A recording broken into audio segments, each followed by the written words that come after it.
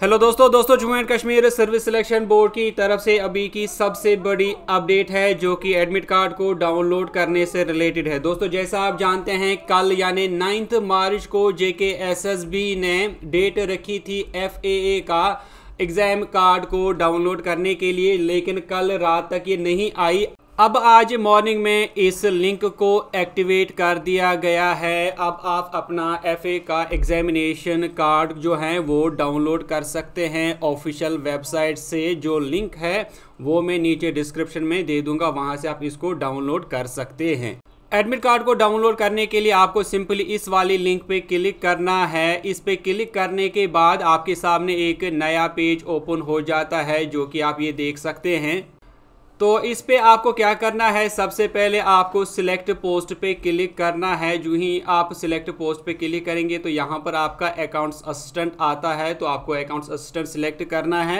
इसको सिलेक्ट करने के बाद आपको नीचे या दूसरा वाला जो टेक्स्ट बॉक्स है, इसमें आपको अपना अपना एप्लीकेशन आईडी जो है, वो सबमिट करना होगा, लिखना होगा। उसके बाद नीचे जो तीसरा वाला टेक्स्ट बॉक्स है, इसमें आपको डेट ऑफ़ बर्थ जो है, वो लिखना होगा। पहले आपको ईयर लिखना होगा, उसके बाद आपको मंथ लिखना होगा और उसके बाद आपको डे लिखना होगा।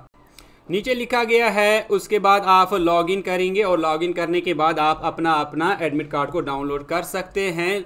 लेकिन यहाँ पर अगर आप एडमिट कार्ड जो आईडी है, वो भूल गए हैं तो आपको इस वाले ऑप्शन पे क्लिक करना होगा फॉरगेट एप्लीकेशन आईडी इस पे क्लिक करने के बाद अगेन आपसे कहा गया है सिलेक्ट पोस्ट तो यहाँ पर आपको सिलेक्ट पोस्ट करना है, यानी अकाउंट्स असिस्टेंट करना है, उसके बाद आपको अपना फादर्स का नेम जो आपके बाप का नाम है, पिता का नाम है, वो यहाँ पर आपको लिखना होगा, उसके बाद आपको लिखना है डेट ऑफ़ बर्थ आपकी क्या डेट ऑफ़ बर्थ है फिर से वही फॉर्मेट पहले आपको साल लिखना होगा, उसके बाद मंथ और उसके बाद डेट लिखना होगा, और उसके बाद आपको यहाँ पर सबमिट करना होगा। उसके बाद जो आपकी फर्दर डिटेल है, वो आपके सामने आ जाएगी।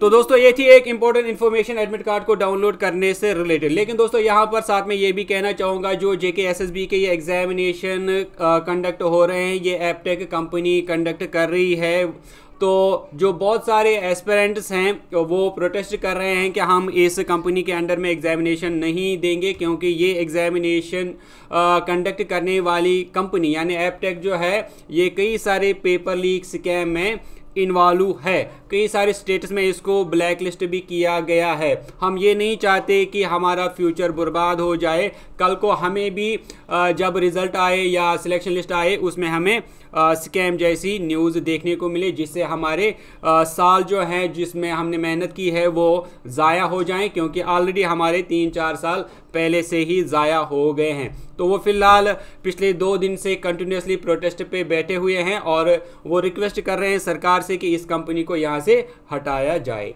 तो दोस्तों, मिलते हैं आपसे एक नेक्स्ट वीडियो में। तब तक के लिए टेक केयर